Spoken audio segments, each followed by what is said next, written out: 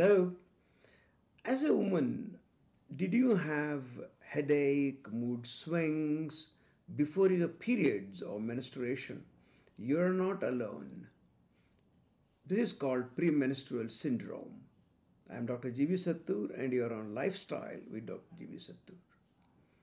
Premenstrual syndrome is nothing but a collection of both physical and emotional symptoms that some women experience in the weeks leading up to their period. What causes premenstrual syndrome? Researchers don't exactly know, but hormonal changes during menstrual cycle may play a role. What symptoms do you get in premenstrual syndrome? Symptoms are different for everyone. You may get physical symptoms, emotional symptoms, or both. Your symptoms also change throughout your life until you reach menopause.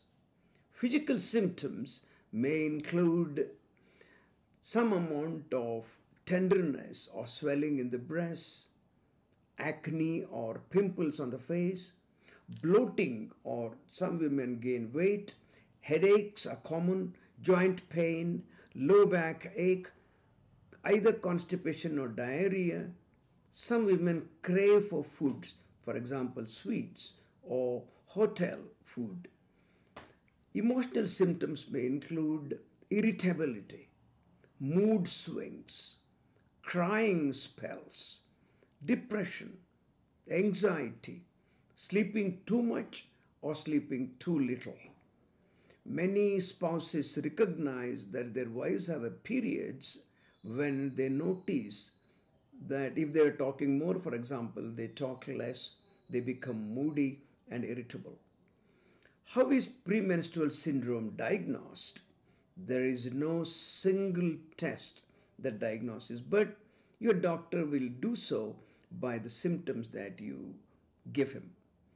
What are the treatment of premenstrual syndrome?